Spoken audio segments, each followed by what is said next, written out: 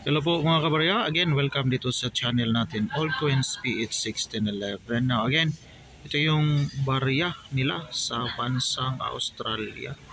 $1. $1 po ito kasi na pasyal po tayo dito ng ilang mga araw kaya may hawak po tayo nito.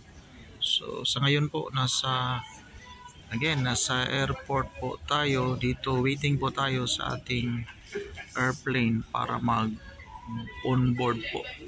So while waiting, at least may libangan tayo dito na barya na hawak. So again, $1, 2002. So ito yung barya. Again, Queen Elizabeth II.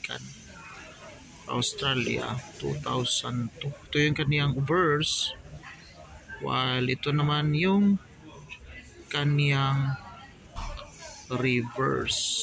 So one dollar. Ito yung outback. Yung outback kasi dito sa Australia yun yung nasa center part ng Australia. Coastal area maraming yung development kasi dito nasa coastline So, yung nasa outback, yun yung may mga desert to na doon. So, ito yung map of Australia. $1 outback. Ito yung kaniyang reverse. So, segmented reading yung kaniyang age naman mga kabarya at ito naman yung kaniyang verse.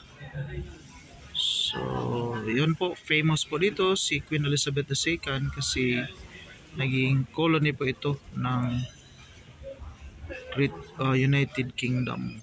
Hindi ko nagkamali. Yan lang po. Maraming salamat and enjoy collecting different kinds of coin.